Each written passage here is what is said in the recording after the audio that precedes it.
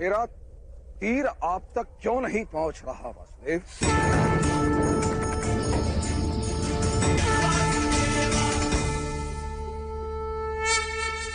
मुझे क्षमा कर दीजिए, वासुदेव। मैं आपके वास्तविक रूप से अनभिज्ञ था। आप अवश्य मेरा वध कर सकते हैं। किंतु आप मेरा वध करने हेतु अपने प्रण को त्यागने के लिए सज्ज हुए हैं। अवश्य ही मेरा कोई महान दोष होगा। क्या दोष है मेरा वासुदेव? बताइए।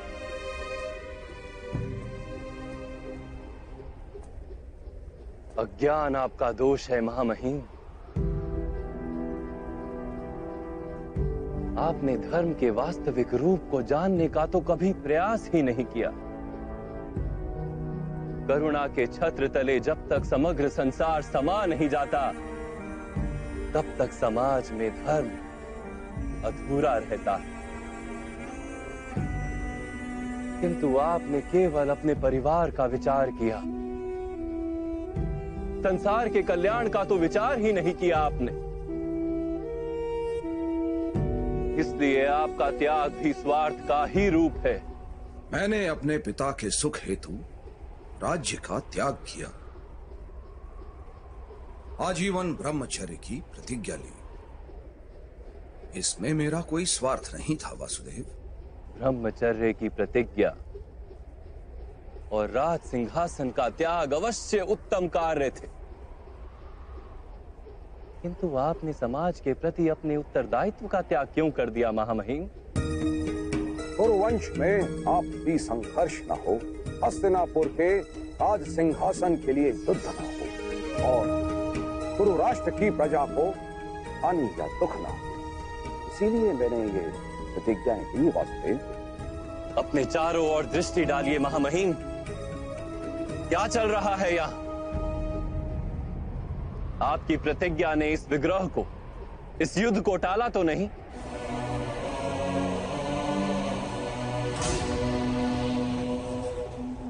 विचार कीजिए महामहिम आपने अपनी प्रतिज्ञा को धर्म माना। यदि वो वास्तव में धर्म होता तो ये महायुद्ध ही क्यों होता? वास्तव में धर्म किसी मृत विचार का नाम नहीं, ना ही किसी परंपरा का नाम है। धर्म तो जीवन का नाम है, और जीवन निरंतर बदलता रहता है।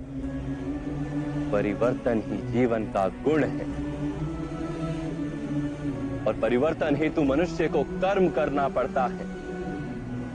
और आपने कर्म का ही त्याग कर दिया महामहिम किंतु मैंने तो जीवन के प्रत्येक पग पर उचित कर्म किए हैं वासुदेव नहीं महामहिम।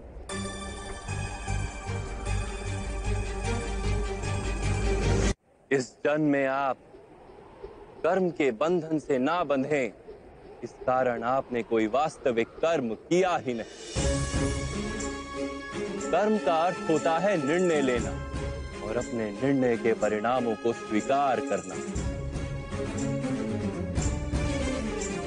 किंतु आपने कब कोई निर्णय लिया महामहिम? राज पांडु के राज्य अभिषेक का निर्णय क्या आपका निर्णय था? एक जन्म से नेत्रहीन व्यक्ति राजा बनने के योग्य नहीं होता। इसलिए मेरा मत है कि ज्येष्ठ भ्राता पांडु का राज्य अभिषेक होना चाहिए। राज धृतराष्ट्र और महारानी कांधारी के विवाह का निर्णय। अक्षय तृतीया के शुभ मुहूर्त पर कुमार धृतराष्ट्र का विवाह। गांधार की कुमारी गांधारी के साथ संपन्न हो। महाराज धृतराष्ट्र को अधर्म से रोकने का प्रयास क्यों नहीं किया आपने महामहिम? कुमार दुर्योधन पर वार करने वाले इन मत्स्य जनों का न्याय तो कीजिए। इन सबके सिर छेद कर दो। छेद कर दो ये तो अत्याचार है। आदेश का पालन हो। युद्ध सभा का निर्णय। और उसमें पांचाली के अपमान को ना रोकने का निर्णय। रामा आप कीर्ति पे समग्र आर्यवर्त में हैं। आप तो स्वयं माता गंगा के पुत्र हैं। अपने समग्र ऐसा व्यवहार देख के आप मान किस प्रकार रह सकते हैं? इस युद्ध का निर्णय। आर्यवर्त में धर्म की फिर से स्थापना करने के लिए युद्ध अनिवार्य है। सभी अधर्मों को रोकने का आपके पास सामर्थ्य भी था और शक्ति भी। किंतु आप निर्णय नहीं ले सके महामहिम। आप केवल अपनी प्रतिज्ञा और अपने प्रण से बंधे रहे। मैं दास बनकर अपना जीवन व्यतीत करूँगा। वास्तव में कर्तव्य के नाम पर निर्णय लेने के उत्तरदायित्व से आप भागते रहे।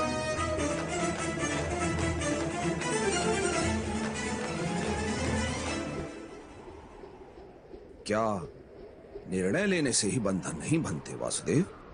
बंधन से छूटने के लिए निष्काम कर्म के सिद्धांत को समझते तो आपका जीवन धर्ममय हो जाता, महामहिम।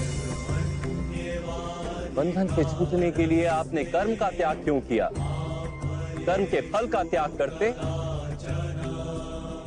किसी के आदेश को कर्तव्य मानने के स्थान पर अपने कर्म को कर्तव्य मानते तो भी बंधन से छूट जाते। बहुत समय पूर्व आपने प्रतिज्ञा ली।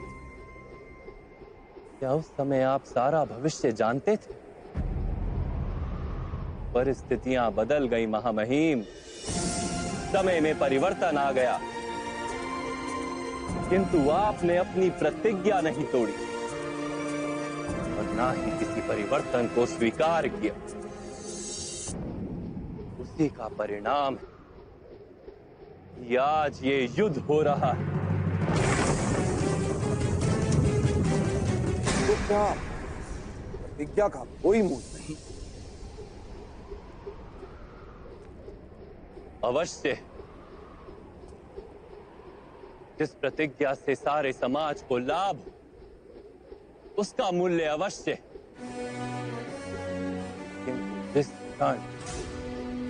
मनुष्य की प्रतिज्ञा, उसका निर्णय सारे समाज को हानि पहुँचाने लगे, उसी क्षण उस प्रतिज्ञा को तोड़ना अनिवार्य हो जाता है, महामहिम।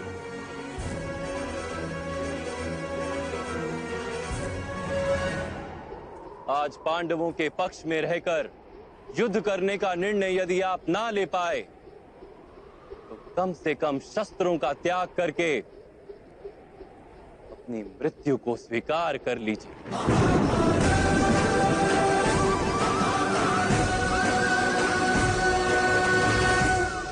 आज पांडवों के पक्ष में रहकर युद्ध करने का निर्णय यदि आप ना ले पाए तो कम से कम शस्त्रों का त्याग करके अपनी मृत्यु को स्वीकार कर लीजिए। मैं स्वीकार करता हूँ, वासुदेव। यदि आपका दिया हुआ ज्ञान मुझे जीवन काल में प्राप्त होता तो इतने अन्याय नहीं होते। किंतु जीवन में ना सही। मृत्यु में आपका दिया हुआ ज्ञान अवश्य उपयोगी होगा।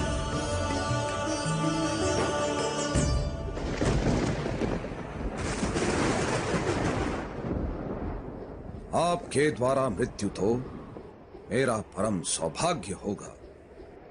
मेरा अंत कर दीजिए। वीडियो अगर आपको अच्छा लगा हो तो हमारे चैनल को सब्सक्राइब कर लीजिएगा और वीडियो को लाइक कर दीजिएगा। मैं आप लोगों के लिए इसी तरह का वीडियो लाते रहूँगा। थैंक जैसी आपकी इच्छा महामहिम।